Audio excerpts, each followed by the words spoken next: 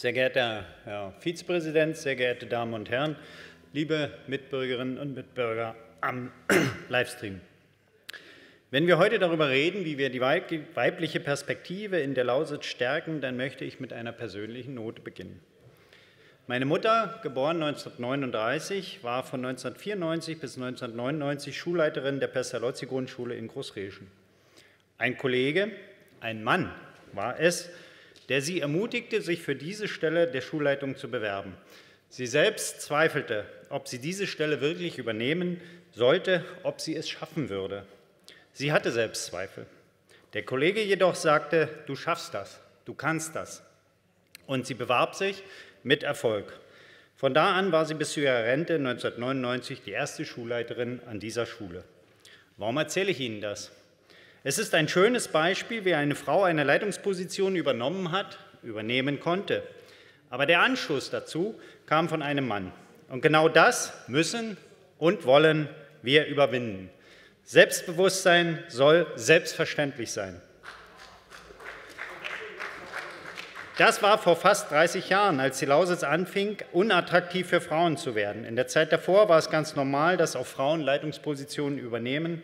Sie wurden einfach gebraucht. Bleiben wir bei meiner Familie.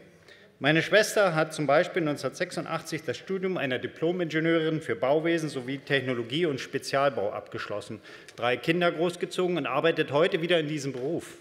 Studenten von heute wundern sich teilweise darüber, wieso so etwas eine Frau machen kann. Ich fasse zusammen.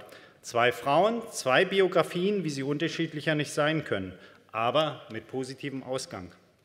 Sehr geehrte Damen und Herren, allerdings gab es auch in der Lausitz eine Zeit, in der Familien froh waren, dass sie wenigstens einen Verdiener hatten. Und das war wegen der Kinder zumeist der Mann. Das wollen wir nicht vergessen.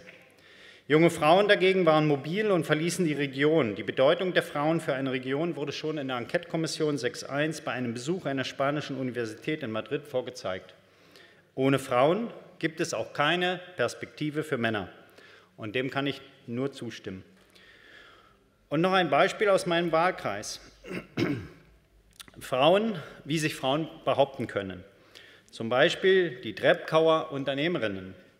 Dies ist ein selbstorganisierter Zusammenschluss von Frauen, welche ein eigenes Unternehmen leiten. Da geht es um eine Tischlerei, ein Nagelstudio, ein Hörgerätegeschäft oder eine Näherei und anderes. Sie organisieren Veranstaltungen und bringen sich in die kommunale Politik ein. Prädikat vorbildlich. Das haben die Frauen einfach so gemacht, aber über Unterstützung sind sie natürlich nicht böse.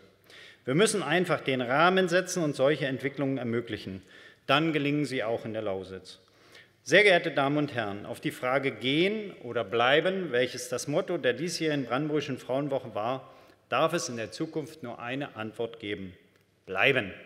Denn die Lausitz ist eine lebenswerte Region und wir wollen sie noch attraktiver für Frauen machen.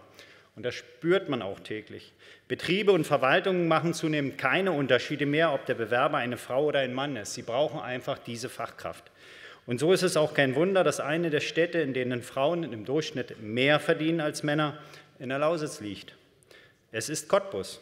Die andere Stadt ist übrigens Frankfurt-Oder. Ein Grund liegt sicher darin, dass beide Städte Hochschulstädte sind. Das, was allerdings in der Lausitz fehlt, sind gut ausgebildete Ingenieurinnen. Damit diese wieder mehr werden und damit auch weiterhin gute Jobmöglichkeiten für Frauen entstehen, gibt es jetzt an der BTU Cottbus-Senftenberg MINT-Beauftragte, die bei Kindern und Jugendlichen das Interesse für Technik und Ingenieurwesen wecken sollen. Davon brauchen wir mehr. Dies trifft natürlich auch gerade für junge Frauen zu. Und gleichzeitig soll auch dieser Antrag dazu beitragen, dass die Lausitz für Frauen gleichermaßen lebenswert wie für Männer ist.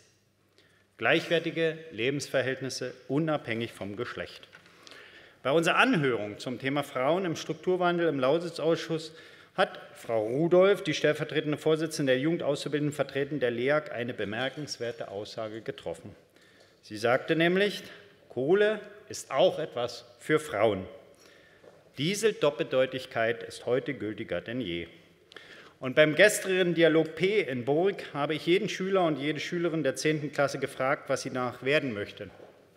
Jeder hatte einen Ausbildungsvertrag in der Tasche oder nutzte die Möglichkeit zum Abitur. Und ein Mädchen wollte nach dem Abitur zur Technischen Universität Dresden gehen und Agrarsystemtechniker studieren. Und keiner hat sich mehr gewundert. So muss es sein. Das Mädchen verdient meinen Respekt. Vielen Dank.